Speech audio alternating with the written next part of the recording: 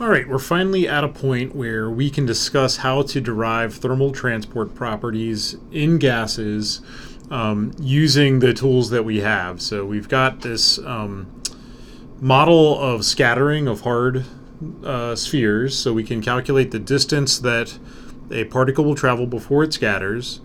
We know how quickly particles move, and from statistical thermodynamics, we know exactly how much air, uh, how much energy they carry.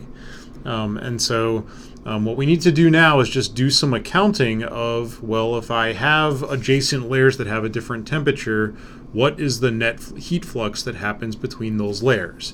Um, so that's what I'm going to do now. Um, I'm going to essentially go through a derivation of heat flux. Um, that will recover Fourier's law, and not just recover Fourier's law, but it'll tell us how the thermal conductivity is related to microscopic properties like the mass of the molecule, the temperature of the molecule, the pressure, um, the size of the molecule, etc., etc., etc. So here's how I'm going to do it.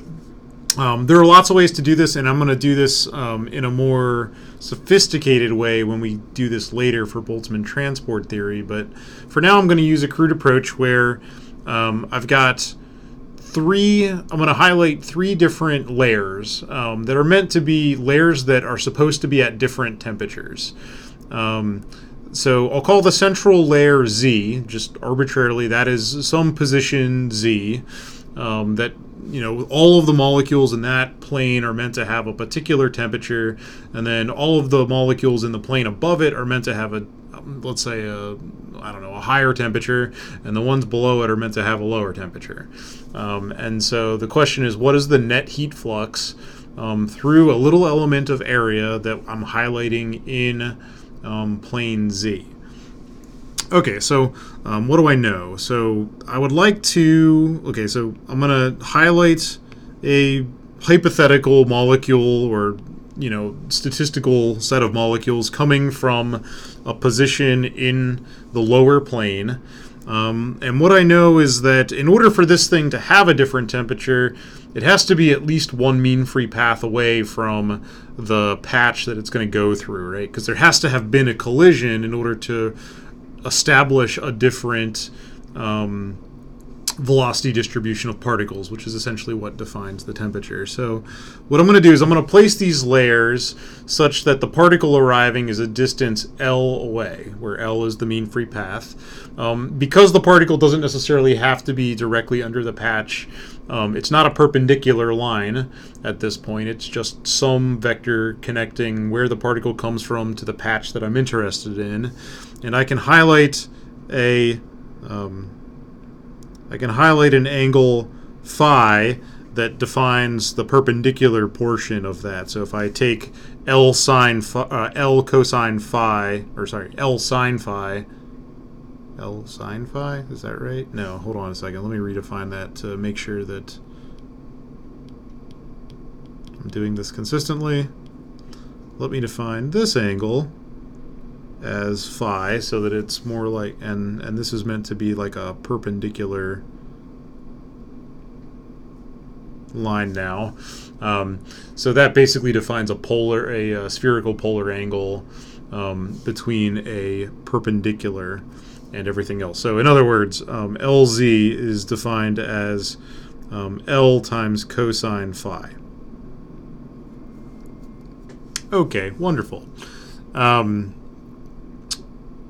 Okay, so that that defines the distance between planes. That's sort of the smallest distance I could possibly put the planes apart. And what I'll do is um, I will try to characterize the heat flux going through um, that little patch of plane. So I'm talking about this little patch right here. Um, so what does that depend on, right? So it depends on, um, well, what's the energy of that particle that'll be coming um, from that little highlighted point down here. So what is the energy of that thing?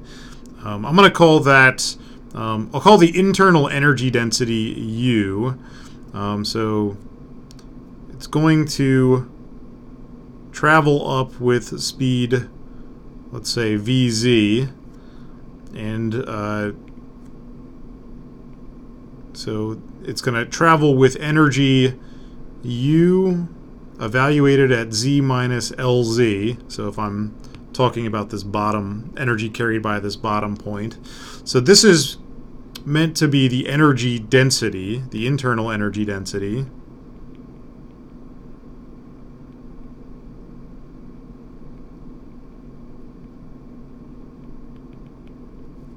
And that, I'm to what I mean by that is it's got um, energy density in a volumetric sense, so joules per meter cubed. So this is the amount of energy density that is contained essentially by particles being emitted from plane z minus lz. So that defines how much energy they have, and then this piece does defines how rapidly they arrive. Um, so, and that vz is is the projected um, velocity, right? So that's the velocity in the z direction um, of typical particles arriving from that point. And of course, whatever the energy density is from this plane, only half of the energy density will be end up going towards that interface. So I'll include a factor of half here. Um, and let me check the units of this. So this is meters per second. So the energy arriving from the lower plane from this point is whatever the energy density was, so that's in joules per meter cubed, um, times the rate at which it gets there. And if I check those units, it does get, it gives me joules per meter square per second. That's the energy arriving from particles on the bottom. What about the energy arriving from up here? Well, that would um, create a negative heat flux because that energy, if it's arriving from the top, then the energy would be going in the wrong direction. Um, so I have to subtract a factor of half times u z plus lz, and that gives me the energy, you know, coming through in the other direction from the top side. Um, okay, so if I look at, oops, I did not mean to be highlighting. How did I do that? Um, so let me erase this so I have some room to write here. So, and of course the energy density, so this energy density, the internal energy density, is absolutely related to the temperature, right? So, um, in fact, uh, we, I think we showed that the energy of a, the, um, yeah, the at one point during the the uh, statistical thermodynamics chapter, we should have shown that the energy density, um, or uh, this thing U, at least for a monatomic gas, was 3 halves kBT. That's the energy per molecule times the number density of molecules. So specifically, this is what I mean about the internal energy density. All right, so we'll come back to that in a second. Okay, so now if I look at what this thing is, um, now the energy density actually depends on you know the temperature, but also the this speed, the average speed of something coming up will depend on the temperature as well. And the mean free path depends, well, LZ depends on where the particle came from. So I can kind of see that um, this isn't exactly rigorously correct yet. What we need to really do is take a directional average um, so depending on where this particle came from, it might have a different, um, you know, it, it, might have a different V's, uh, it might have a different velocity, and it might have a or VZ anyway, and it might have a different um, LZ. And so we'll have to do a directional average at some point. But let me just before I do that, let me do a uh, one other thing, which is uh, I'm looking at I'm looking at this, and I see that I have something that looks like you know, a function evaluated at L minus LZ and another function evaluated at Z minus LZ. And I mean, it seems to me that what we should do here is think about doing a Taylor expansion, right? I'm interested in um, relating the heat flux to um, what's going on at a point in the central plane. That's really what Fourier's law relates to. And I have terms that look like, you know, a number you know, minus a small number and a number plus a small number, that's like sort of begging us to do a Taylor expansion. Um, so let's do that. So if we do a little Taylor expansioning here, the first term, so um, this term, expands to give us um, u evaluated at z minus uh, lz du dz evaluated at z um, minus uz minus lz du dz. So if I if I take a look at it, what I'll see is that I've got like two terms that cancel each other and two terms that are additive. And so if I put it all together, um, I get, and by the way, the two terms that are additive will cancel the factor of half. And so that'll give you VZ, LZ, DU, DZ. Well, that's looking a little bit like Fourier's law, but not quite. I was really interested in um, well, a couple things. So I've already I've already sort of indicated that we probably need to do a directional average over all the possible places that this particle could have come from. But the other thing is we need to relate the internal energy to temperature. Um, let's do the first. Let's let's do the directional average first. That's easier. Um, so VZLZ I can write as V times L times cosine squared phi. And um, then I can do the direction. So I need to do two averages. I need to do the average over the probability that this thing came over from all possible different angles, but I also need to do a directional average over all the possible velocities that could have been coming up from the uh, from the bottom plane. So if I do those directional averages,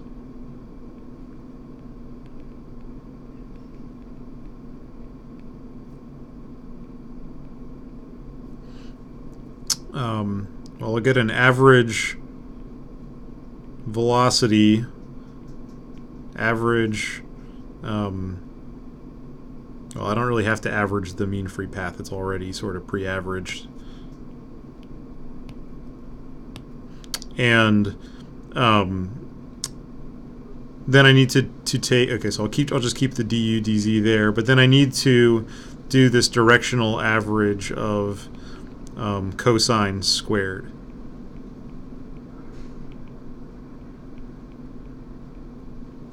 Uh, in spherical coordinates.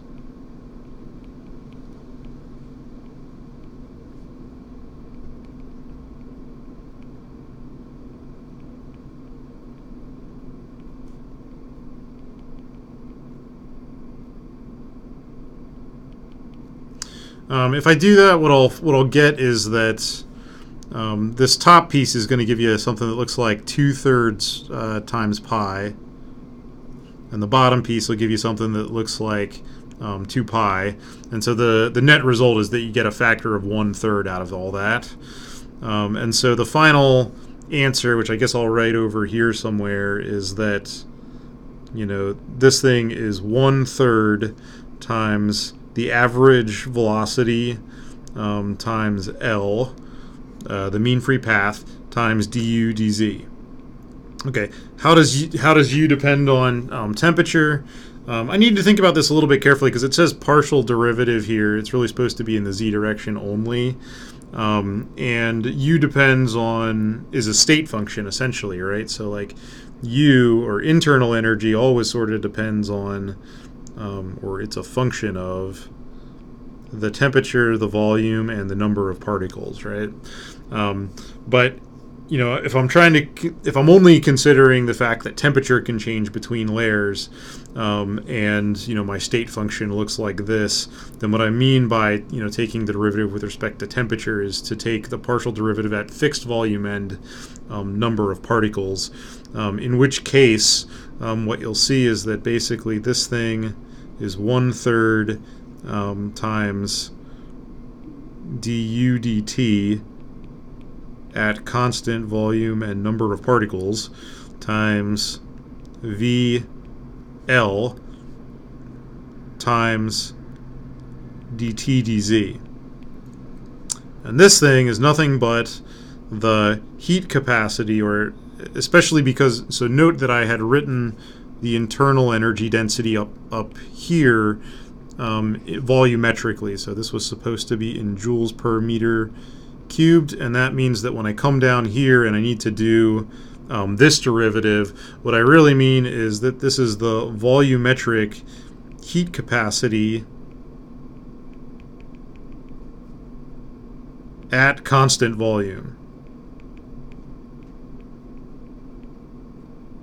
So in other words, this thing is uh, CV, and it's written on a volumetric basis.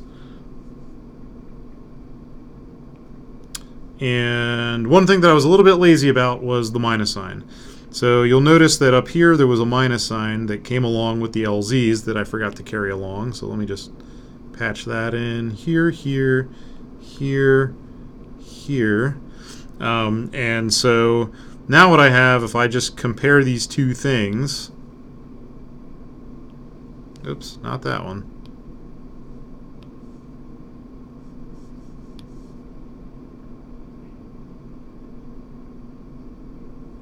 So let's compare this to this, and voila!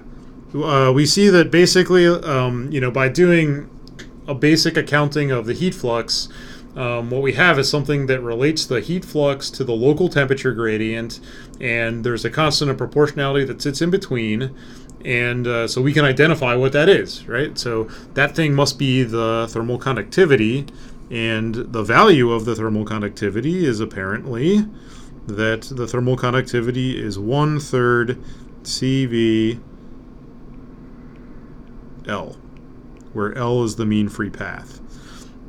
And so that's really pretty much all there is to it. So you can do this. Uh, so the so we've identified that the thermal conductivity is one third CVL um, from our you know, from what we know about the Poisson dis- or sorry, the Maxwell distribution for velocities, we can figure out what the average velocity is in terms of the mass and the temperature.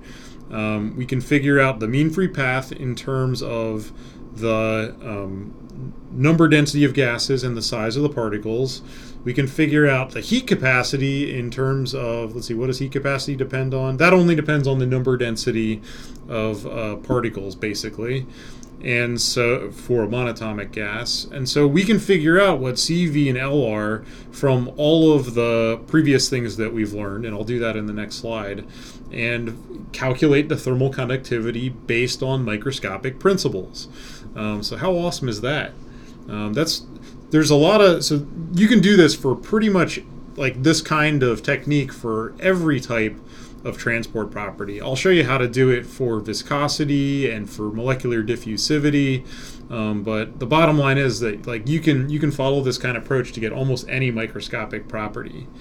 Um, later, I'll show you an even better way to do this. So um, there are I, there are some small it's hard to hard to talk about yet, but there are some small discrepancies in the way that we did this, and some more accurate results. But um, but this will get you 99% of the way there with about five minutes of work, um, and and it's a lot easier to to do this kind of approach.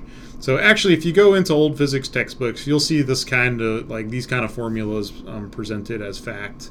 Um, in old physics textbooks. So the the fact that the thermal conductivity is one third CVL is a very famous formula. Um, okay, so let me do a couple of things now. So let me wrap up by uh, turning the one third CVL into some actual you know uh, properties of materials and see how the thermal conductivity depends on number density and mass and temperature and pressure okay so um, let's do that and then i'll show you how to do this for a couple of other um, properties